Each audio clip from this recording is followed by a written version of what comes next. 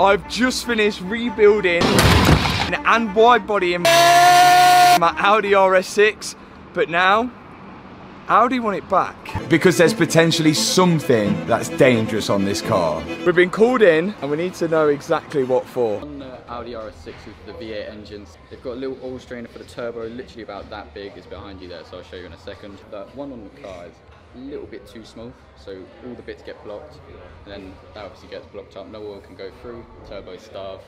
When the turbo starve, boom. It's literally that big.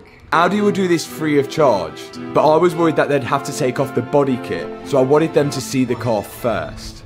That ain't gonna fit in it. What do you think? It is wow. It's it's nice. So you just mentioned that the front bumper's got to come off, which would mean that probably part of the body kit would have to come off as well. Are we allowed to buy the gauze kit and do it ourselves? Yeah, of course.